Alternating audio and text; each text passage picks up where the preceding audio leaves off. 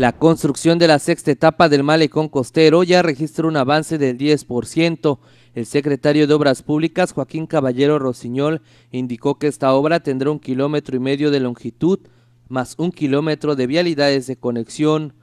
Está trabajándose en tres frentes para poder agilizar. Es una obra de más de un kilómetro y medio de longitud, tan solo de malecón, y otro kilómetro y medio de vialidades.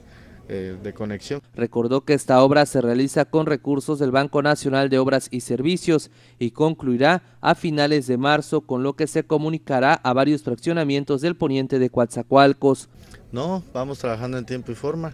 Obviamente las condiciones también climatológicas dependen mucho, principalmente en la parte que está expuesta hacia la playa. Los trabajos iniciaron hace un mes.